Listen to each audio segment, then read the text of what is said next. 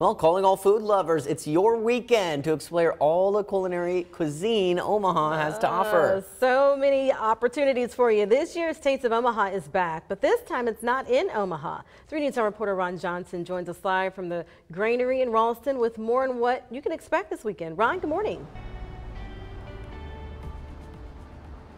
Hey, good morning, Zach and Cerise. If you don't know where the granary is at, it's just off 72nd and Main in Ralston, not too far away from Omaha, but a great place here. Check it out. Take a little tour with me. Let's take a look at what's here. You've got your corn dogs, nachos, funnel cakes, carnival food. Behind that, you've got carnival rides for the kids. And then take a look over here.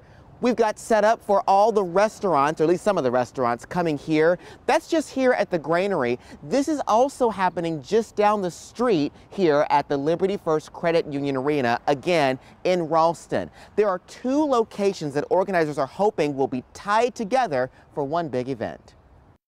Omaha has a great few food community, and this is a chance where we showcase. While this year's Taste of Omaha may not actually be in the city, organizers are still looking forward to a great event this weekend in Ralston.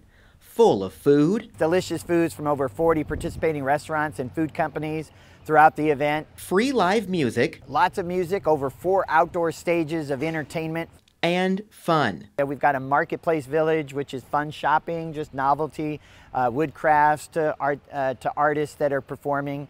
Uh, then we have a kids zone for kids to, you know, just enjoy, relax, and have a ride.